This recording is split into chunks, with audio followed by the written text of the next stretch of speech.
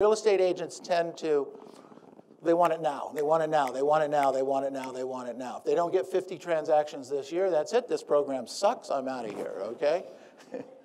you know? How long you been working on it? Two weeks. I didn't get any listings yet. How many calls you make? 12. Think you should make some more? Well, I don't see it working, so why? okay, that's the conversations that we have, all right?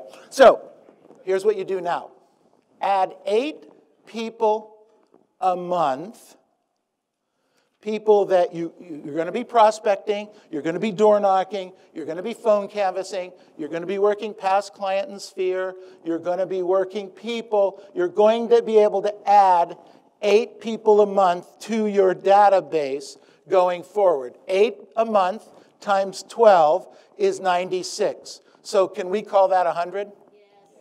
Okay, so in 2020, we went from 200 that we wrote in there to next year, we're going to have how many?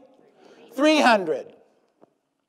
Snail mail weekly, excuse me, email weekly, snail mail monthly, phone call every other month.